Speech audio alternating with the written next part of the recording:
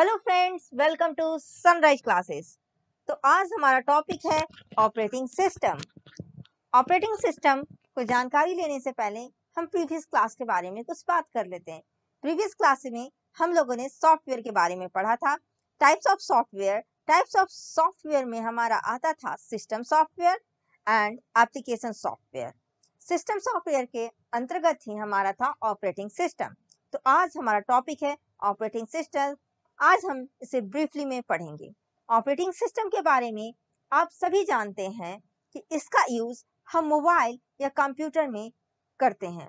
Mobile या computer हमारी ज़िंदगी का एक हिस्सा बन गया है, जिसके बिना हम आज एक काम भी नहीं कर सकते।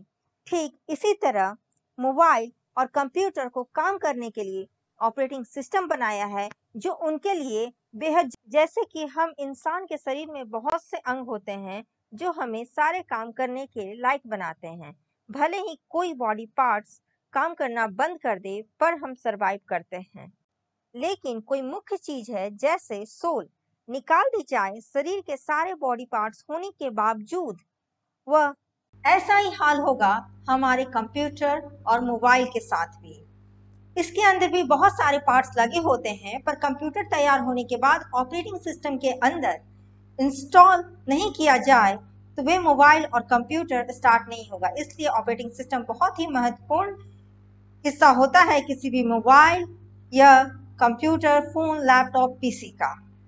यह एक सिस्टम सॉफ्टवेयर है जो हार्डवेयर और सॉफ्टवेयर के बीच सारे कामों को संचालन करता है। ऑपरेटिंग सिस्टम एक ऐसा सॉफ्टवेयर है जो यूज़र और कंप्यूटर के बीच इंटरफ्रेंस प्रदान करता है, जिसके ज़रिए यूज़र कंप्यूटर के साथ कम्युनिकेट कर पाता है। इसके लिए यूज़र की कंप्यूटर की भाषा समझने की ज़रूरत नहीं होती। सभी कंप्यूटर को सही तरह से काम करने के लिए दूसरे एप्लीकेशन और प्रोग्राम को रन करने के लिए ओएस की आवश्यकता होती है, जैसे game Photoshop M S Word Chrome etcetera जैसे एप्लीकेशन एप्लीकेशन को रन करने के लिए, अपने टास्क को पूरा करने के लिए एक प्लेटफॉर्म की ज़रूरत होती है यह हमें ओएस प्रदान करता है।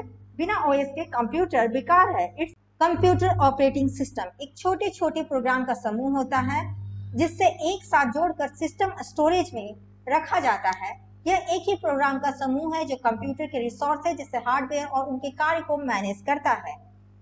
कंप्यूटर के हार्डवेयर अपने बल पर कार्य नहीं कर सकते, ना ही किसी के साथ इंटरेक्ट कर सकते हैं। इसलिए ऑपरेटिंग सिस्टम द्वारा की जाने वाले इलेक्ट्रॉनिक सिग्नल के द्वारा भी हार्डवेयर अपना काम पूरा कर पाता है।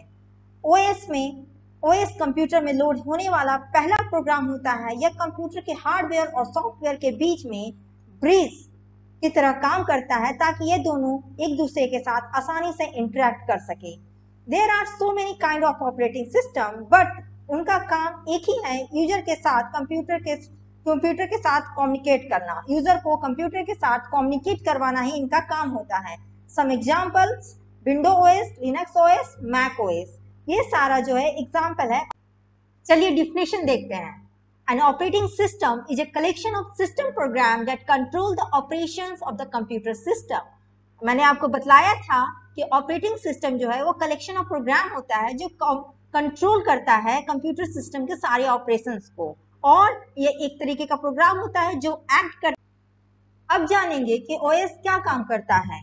ओएस कंप्यूटर के सबसे ज़रूरी प्रोग्राम होता है जो कि सभी सिंपल और इम्पोर्टेंट काम को वर्क करता है। लाइक like कीबोर्ड द्वारा इनपुट की जा रहा है की को समझना आउटपुट को स्क्रीन में शो करना हार्ड डिस्क या फ़ाइल या डायरेक्टरी को मैनेज करना और कंप्यूटर के सारी चीज़ों को कम्युनिकेट कर पाता है।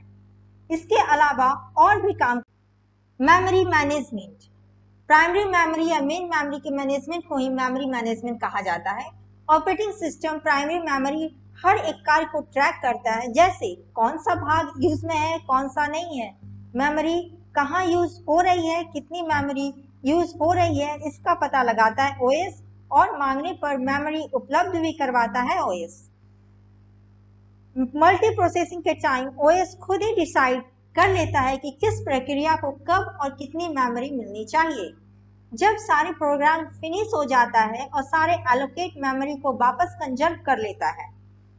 और सेकंड है आपका प्रोसेसर मैनेजमेंट प्रोसेसर मैनेजमेंट में आपकी प्रोसेस जैसे आप वन टू थ्री ये आप प्रोसेस दिए हैं, ये सारे प्रोसेस को मैनेज करता है आपका ऑपरेटिंग सिस्टम और थर्ड है डिवाइस मैनेजमेंट सारे आपके डिवाइस को मैनेज करता है लाइक like आपके printer hard disk hard driver है, आपका कीबोर्ड माउस ये सारे चीज़ को मैनेज करता है आपका ऑपरेटिंग सिस्टम एंड फोर्थ है फ़ाइल मैनेजमेंट फ़ाइल आपके सारे फाइल्स को मैनेज करता है operating system and last security security OS हमारे सिस्टम को अनऑथराइज एक्सेस करने से रोकता है. मतलब कि आपके अलावा कोई और यूज़र बिना आपके एग्रीमेंट से आपके कंप्यूटर को यूज़ नहीं कर सकता. इसके लिए ओएस पासवर्ड देने की पूरी इंडिपेंडेंसी देता है। अब हम जानेंगे ऑपरेटिंग सिस्टम कितने प्रकार के होते हैं। ये हम आपको बतलाएँगे। दोस्तों, मैं आपको बतला दूँ सनराइज क्लासेस एक डेली बेस्ड कोचिंग सेंटर है जो इंडियन स्टैटिस्टिकल सर्विस की प्रिपरेशन करवाती है। अगर आप आई की प्रिपरेशन कर रहे हैं तो आप अपने प्रिपरेशन को कंसिस्टेंट बनाने के लिए सनराइज क्लासेस को ज्वाइन कर सकते हैं। आपको यहाँ पे टेस्ट सीरीज़ भी प्रोवाइड किया जाता है। अगर आप टेस्ट सीरीज़ ज्वाइन करना चाहते हैं टेस्ट सीरीज़ के according to the test series आप अपना प्रिपरेशन करना चाहते हैं तो आप सनराइज क्लासेस को ज्वाइन कर सकते हैं। यह टेस्ट सीरीज़ आपको थ्री ईयर के लिए वैलिड है for minimal price at minimal price ये आपको वैलिड है।